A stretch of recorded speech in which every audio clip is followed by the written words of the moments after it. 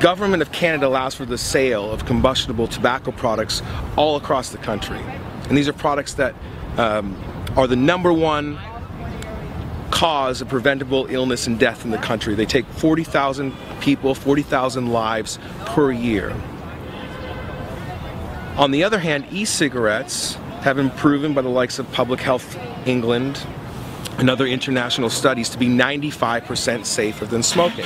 So when you put in laws, when you put in legislation, when you pass bills like Bill 45 or the Electronic Cigarettes Act, Making Healthier Choices Act that put limits on display, they restrict display, promotion, tutelage, and sampling of those products. You effectively limit the population or restrict the population's access to reduce harm from tobacco forgetting or putting aside the fact that the Canadian government profits from this harm in taxes well and above um, what they pay out to support a dying population. So for us today, it's about really um, educating the public that this is not just a debate about whether or not someone can blow a cloud of vapor. This is this is a, a situation we have a cure, probably the only cure to this tobacco related illness epidemic, the best cure that the, the country, if not the world, has ever seen.